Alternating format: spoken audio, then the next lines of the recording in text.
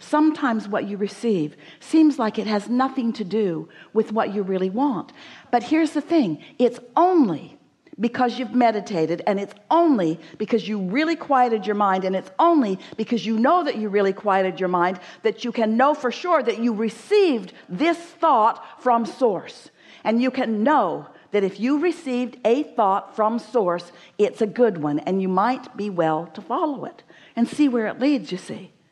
so after you get the hang of this once you start listening to that once you're willing to quiet your mind and stop all the racket and feel that soothing of alignment and then get an impulse to do something and then you get to witness the unfolding of it so you come to trust not only that source is aware of you but the source is good for you the source is loving you the source does know what you want and where you are in relationship to it and will lead you will lead you impulse and inspiration by impulse and inspiration. But you got to put yourself in a position where you can hear.